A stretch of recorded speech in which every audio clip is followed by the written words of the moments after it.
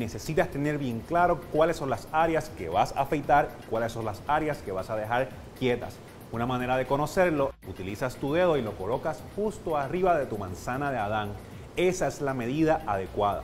Cuando colocas tu dedo encima de la manzana de Adán, vas a afeitar de ahí hacia abajo. Los pómulos también son importantes. Trata de mantener esta área limpia. Ya si quieres hacer una línea o si quieres dejarlo un poco más natural, es realmente preferencia. Pero lo importante es que esta parte superior de los cachetes, si no tengan vellos dispersos, sino que puedas afeitar ahí y por supuesto también puedas mantener el bigote de una manera también natural, pero que tampoco exceda el labio superior. Y recuerda, para este y otros temas relacionados al buen vestir, la apariencia y la imagen del hombre, acude a hombreconestilo.com o visítanos en nuestras redes sociales.